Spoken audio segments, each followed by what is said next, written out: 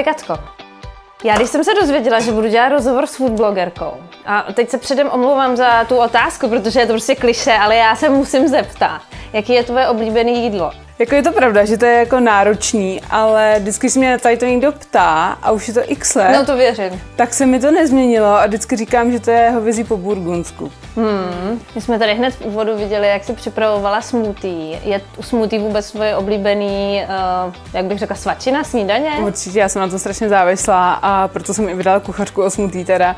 A jo, Z čeho jo, vlastně určitě. bylo to, co si nám uh, připravovala? Mm, protože nemáme úplně sezónu právě těch dobrých potravin na to smutí, tak teda jsem použila mražený jahody, borůvky a pak jsem tam vlastně dala do toho tvaroh a nějaký semínka, takže jsem jí zdraví věci. Člověk tu smutý bol pak jí jako ne jako nápoj, Jasně. ale má to fakt jako misku plnou prostě křpavých věcí, oříšku, semínek a Mm, do toho to smutí.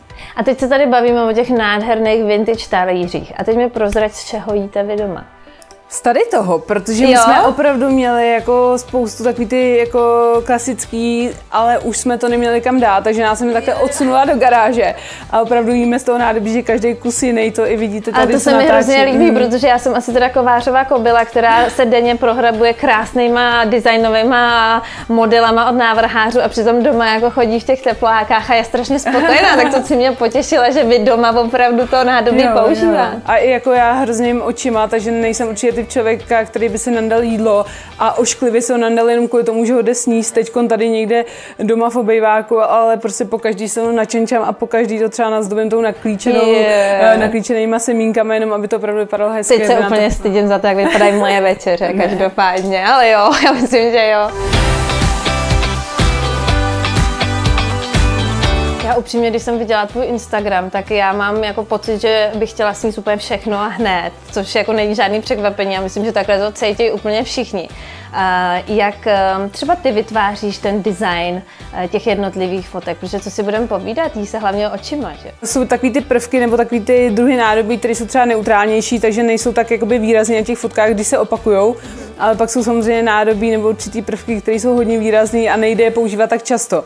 Ale k tomu jsou dobrý různě nějaký bazary, blešáky, kde se to opravdu koupí za pár šupů a i dokonce mi třeba spousta čtenářů píše, že mají na půdě a že mi to pošlou a tak to je poslali. úžasný.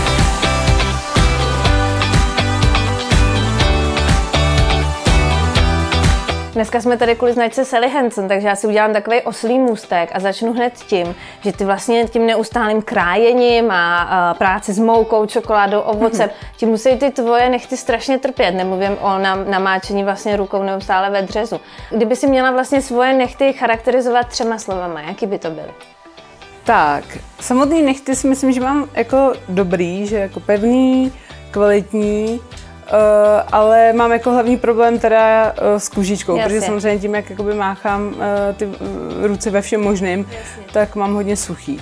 Tak já tady zalovím v tomhle našem košíčku a vyndám Instant Cuticle Remover a spolu s ním i Cuticle Rehab.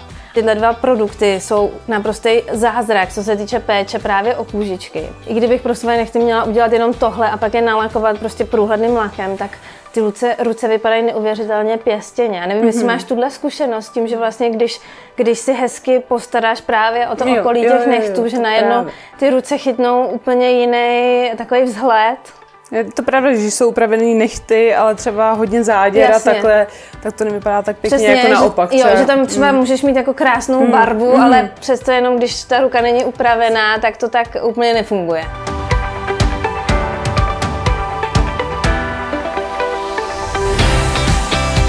Teďka, eh, když jsme mluvili o těch barvách na eh, laku na nechty, mm. Sally Hansen má teďka strašně pěkný eh, barvy laků na jaro, mě strašně mm. baví, už jenom ty názvy mě baví, já jsem jich tady pár vyndala, takových mých oblíbených odstínů, třeba Radiant. Hmm, a to je teďko hrozně jako je teďka hrozně ta- hezká. Jo, a to je teďko strašně moderní. Nebo barva. mě baví Oh My Magenta, jako neuvěřitelně nádherná barva. A tady ta růžová, to je možná ta, kterou Jo. dokonce Jo, máš. To možná jo. jsme to docela trefili, hele, vidíš, jmenuje se Berry Smooth, jo, to se hodí tomu smoothie.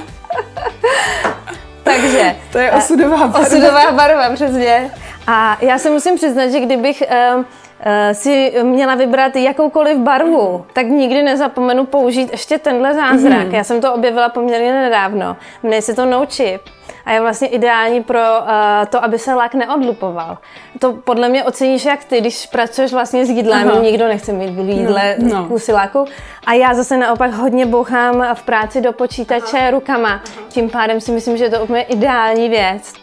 A já mám teďka na závěr takovou věc, takovou anketu, já si k tomu vezmu tady uh, rádce na telefonu. Je to sled rychlých otázek, u kterých ti dám nápovědu, to mi vždycky řekni první, co tě napadne. Jo? Káva versus čaj. Hmm. Musíš si rychle. Tak rychle, takže ráno káva a přes den čaj. OK. to je těžký. Vanilka versus čokoláda. No, čokoláda. Klasika versus elegance. Hmm, klasika. Uh, tenisky versus lodičky. Tenisky. Příroda versus město. Příroda. Beatles versus Rolling Stones. Beatles. Zmrzlina versus dort. Zmrzlina. Snídaně versus večeře. Snídaně. To je za mě úplně všechno. strašně moc děkuji za strašně pěkný rozhovor a hlavně za ten perník, co jsem snědla ještě před tím rozhovorem. Byl úplně výborný. Děkuji, děkuji moc.